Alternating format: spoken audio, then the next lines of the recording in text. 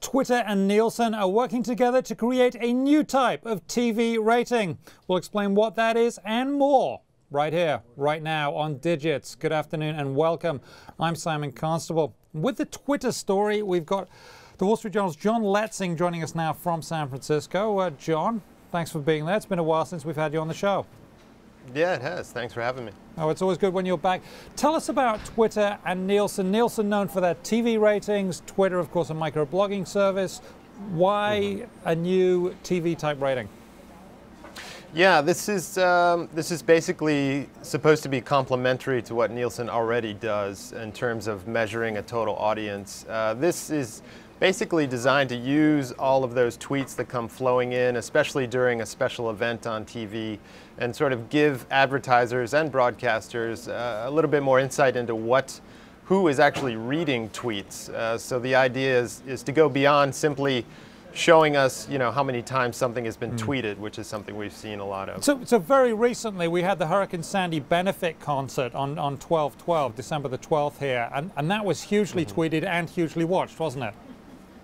Yeah, it was, absolutely. So that's exactly the kind of, of event they have in mind here in this, uh, uh, and sort of capitalizing on this, uh, you know, second screen phenomenon. So people uh, like you and me sitting here watching uh, the tube, but with a, a, phone or a tablet in hand and, and tweeting at the same time. So the idea is you basically figure out what people are saying and who's reading it about what's going on, and that gives advertisers a better idea of how to uh, how to capitalize on these things. And now the the other thing um, that we, we know that was very hugely tweeted was was the election coverage as well.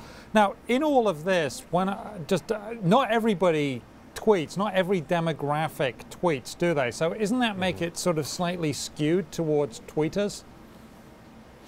Yeah, it could, but I think uh, this is just a guess, but I think if you were to look at the demographic that does tweet a lot, it would probably line up pretty well with the demographic that advertisers want to target, um, 18 to 35, that sort of thing. Um, so the idea here is really Twitter sort of stepping in and taking a more active role with Nielsen in sort of uh, monetizing uh, uh, measurement of, of, what people are actually doing on the service. Mm. Now, what, one of the things on, on the measurement stuff is that, that it's, it's always, um, well, it's not always, but it's typically been on the TV side, something called the sweeps, where, you know, where they look at the ratings only at certain periods, and that sets the agenda. Is that going to work the same way with this Twitter?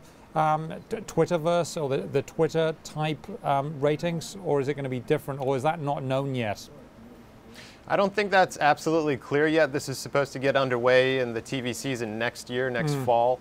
Um, and I'm sure a lot more details will come out before then. But I, I, would have to guess that given that the Twitter thing is probably more centered around uh, particular special events like those that you've mentioned, uh, benefits and things like that. Maybe maybe it will be a little bit more dispersed in, in terms of a, of a focus like that, a sweeps type focus. Now, Twitter has been uh, obviously done phen phenomenally well. Um, is this part of its aggressive plans to sort of like try and keep it, its, um, its service attracting users and hopefully make it fully monetizable, i.e. like get lots of revenues coming in?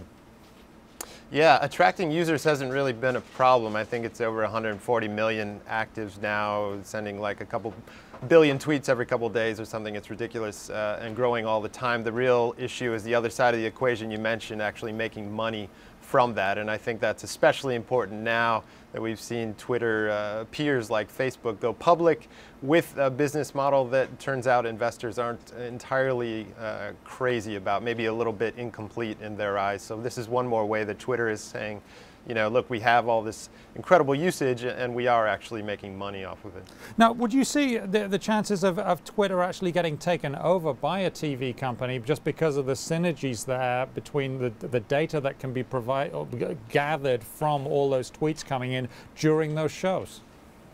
Yeah, that's an interesting uh, idea. The, the only issue, I guess, would be that in theory, with, with partnerships like this, Twitter wants to be selling to as many TV companies and types of, of ad buyers and ad companies as it can, and, and being owned by one particular media outfit might complicate things a bit in terms of that. Mm. Now, um, based on when you talk to investors, you said that um, some some investors are getting uh, worried about social media being able to get the revenue in the, uh, with the users. Obviously, got the users. Um, where does uh, Twitter stack up in in that in that situation versus, say, Zynga versus um, Facebook? I mean, are they are they seen as best best of class or in the middle or just an also ran?